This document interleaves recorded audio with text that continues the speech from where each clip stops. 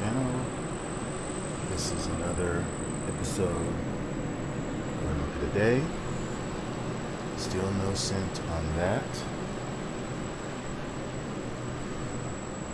Today I wanted to talk about semi-hydro.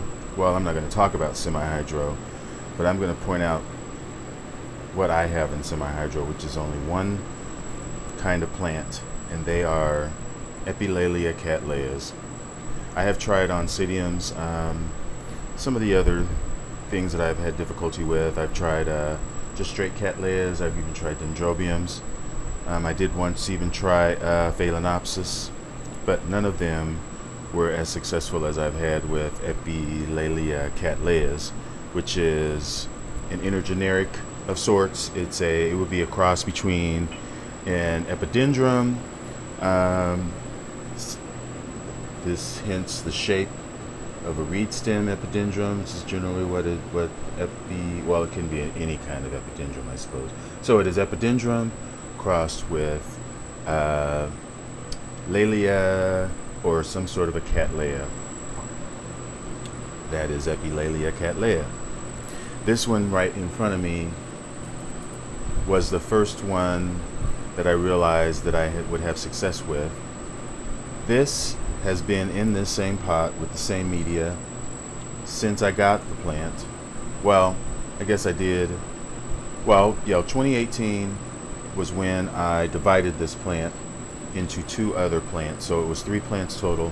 This was the main plant, and it has put up another new growth, which is right here, which doesn't have a sheath in it, but I'm hoping that next year this will put up a new growth, and then this one will as well, and it will be back to where it was before, which was a two grow two two growth uh, flowering plant. And if this plant is a cross between um, epi uh, epidendrum, what is the one that I don't have? Um, hmm. Well, no, I don't know.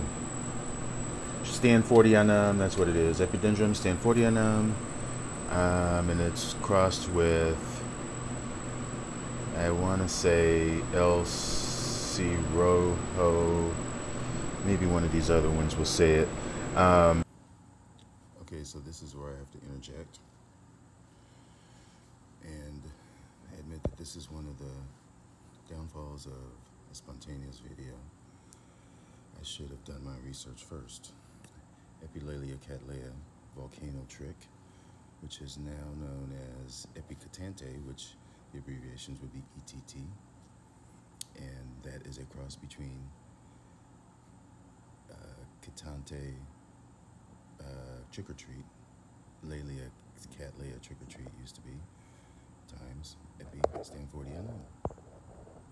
I had a lot, had success with this plant because it flowers every year for me around Christmas time, um, sometimes a little bit earlier. It's usually blooming in time for our Christmas party, which is at Hausermann. It's about December the 5th, and so it flowers for a very long time. spikes, as you can see, this is the old spike, extends up and it the flowers open as it goes up. So it's a very long flowering time. I think it was still in flower in March. Um, but I there are several other volcano tricks, and I decided to get some of the other ones. This one right here is one that I just got last year. This is in semi-hydro. Now what I was going to say about semi-hydro, well I did say that this has been in the same pot, but I don't do all that flushing. The, the thing that I've heard always about semi-hydro is that when the water is gone in the bottom, that is when you kind of need to water because that's the plant's only source of water, so you need to really maintain the plant level of water up to the level of where the holes are. And I just watered this this morning, so you can see that there's no water in it. So it is soaking up those, soaking up the, the moisture as it is getting some new roots and it is probably going to be pushing out some blooms pretty soon as you can see in there.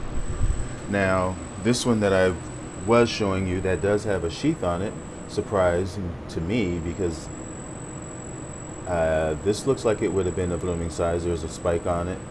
This one is much smaller, but okay, it's blooming small. This one is uh, ETT, which Epicattleya is no is no more.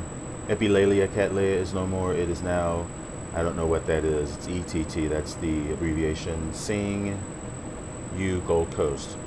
And this is also the same cross with Stamfordianum with another Cattleya. I don't know, Cattleya jalapa, Cattleya rojo. It's one of those, I think.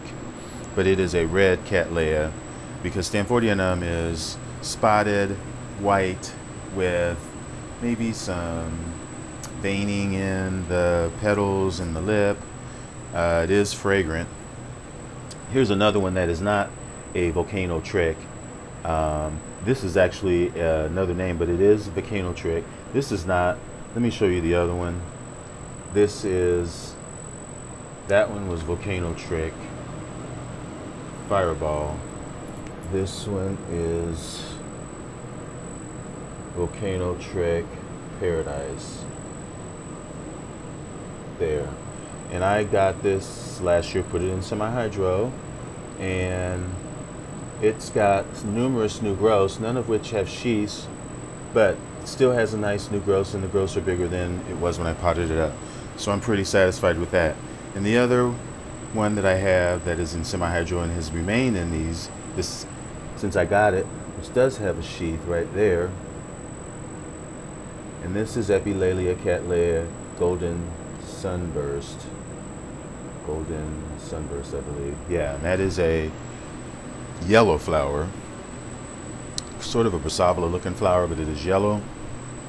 And then I have another Epilalia cattleya over here. This is Epicattleya lime sherbet, which is crossed with Brassavola little stars. And this took some time in getting started. It was a tiny plant when I got it But this is the latest growth and here's another the latest growth and you can see the previous growths are smaller so it's finally getting somewhere but that's what I have in semi-hydro and those are my Epilalia cattleya uh, that I that I have the ones that I have that are all in semi-hydro um, so contrary to the rumors or the statements that people say that you have to constantly flush out the algae and constantly flush out impurities in these and change the media out. You don't have to do any of that. I haven't done any of that. All I do is make make sure that the water level is always to the top of where the holes are. And I am fertilizing today, so these will get a nice dose of fertilizer. Um, the only thing that I did when I initially put them in semi-hydro was I did soak the hydroton pellets in um, just a bucket with my fertilizer solution because that's really the only fertilizer that they will get ever because they'll just be getting plain water. Is just once a week fertilizer that I give them. That's all that they will get. So I try to give them a good start initially before I you know put the put the plant in the media by soaking the pellets in the solution that is has got the fertilizer in it. So just a tip. Um, but like I said, I've only been successful in semi-hydro to the success that I would say is worth keeping them in semi-hydro with Epilalia cattleya crosses. That is the only thing that I have been successful with semi-hydro. So, yeah. But, if you like this video, oh, one more thing. I, um, in talking about my uh, my raffle that I'm gonna have for my the giveaway for the 1600 subscribers. I may actually go live a little bit later and talk about that further. If I do, I'll try to put a notification up. I might not do it because I'm so busy today. We have a uh, IOS meeting tomorrow in Chicago at the Botanical Gardens, and it's going to be a long day, and I still have a lot of stuff to do here. Uh, but yeah, I might be live later. So if you're around, look out for a notification just to, I'll be talking about what's going on outside maybe. And I'll be just walking through some stuff out there. Um, I need to pull some, pull some um, seed pods off of my Epidendrum graniferum from advice from Todd's over there at Todd's Tropicals. But anyway, I'm going to say bye And uh, maybe I'll see you later. So if you've enjoyed this video, press the like button. Don't forget to subscribe. Thanks. Bye.